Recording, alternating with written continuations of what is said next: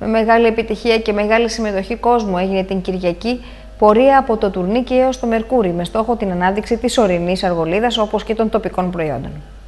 Στα πλαίσια ανάδειξης της άγνωστης για πολλούς ορεινής αργολίδας και των ιστορικών της μονοπατιών και η αγάπη για το φυσικό πλούτο της περιοχής του χωριού Τουρνίκη οδήγησαν στη διοργάνωση τοπικής γιορτής πολλαπλών αθλητικών δραστηριοτήτων. Η σκέψη και στη συνέχεια η πραγματοποίησή της ξεκίνησε από τον πρόεδρο του Υπηκού Φυσιολογικού Συλλόγου Άργους και υποστηρίχθηκε θερμά από το τοπικό σύλλογο Μερκουρίου Ινόη, την ελληνική ομάδα διάσωσης, το παράρτημα Αργολίδας, τον Ορβατικό Σύλλογο Άργου, το Σπηλολογικό Όμιλο Ναυπλίου, τους Φίλους Μικυναϊκού Πολιτισμού, το Σύλλογο Ορθοπεταλιές Αργολίδας και συνδρομητές είχε το Δήμο Άργου και την Δημοτική Κοινοφιλή Επιχείρηση Πολιτισμού. Η εκδήλωση πραγματοποιήθηκε για δεύτερη συνεχόμενη χρονιά την Κυριακή 31 Οκτωβρίου 2010 και έδωσε το δυνατό παρόν πολλά μέλη των uh, συλλόγων που προαναφέραμε, καθώς και αρκετοί φίλοι τους. Οι πι και πεζοπόροι ξεκίνησαν τη διαδρομή τους από το χωριό Μερκούρι στις 10.30 το πρωί. Ο καιρός ήταν κάτι παραπάνω από σύμμαχος, καθώς ήταν μια ηλιόλουστη μέρα με καθαρή ατμόσφαιρα και όλοι ανεβαίνοντας στο ιστορικό μονοπάτι του Πρίνου ατένιζαν με θαυμασμό τις κορυφογραμμές του Αρτεμισίου και του Κτενιά. Οι ποδηλάτε ξεκίνησαν και αυτοί με σημείο κίνησης στην Κρύα Βρύση με προορισμό του Τουρνίκη, κάνοντας και μια ευχάριστη στάση στο, στο χωριό Κρυονέρι, ε, όπως ε, ε αλλιώς το ξέρουν οι παλιότεροι, Μπούγα, όπου εκεί τους προσφέρθηκαν δυναμωτικά δέσματα για να συνεχίσουν την πορεία τους προς το τουρνίκι.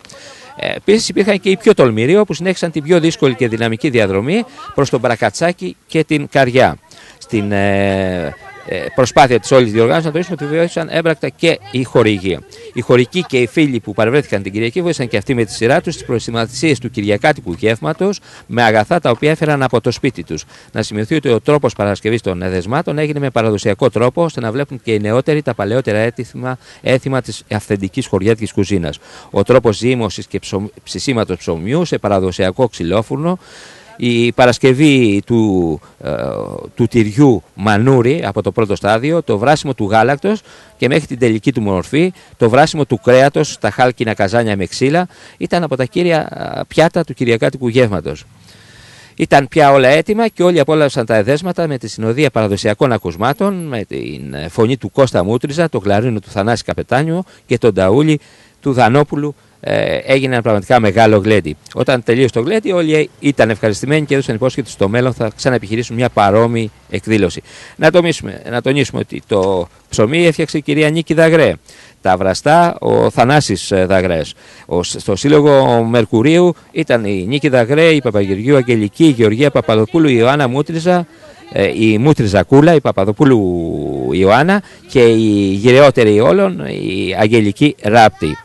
Ε, υπήρχαν βέβαια τα άλογα, οι ορειβάτες, οι ποδηλάτες και αυτός και πιο ε, μικρή Αμαζόνα η Δήμητρα Μπαλάσκα. Και να μην ξεχάσουμε το υπέροχο αυτό τυρί έφτιαξε ο Βασίλης Παπαδόπουλος.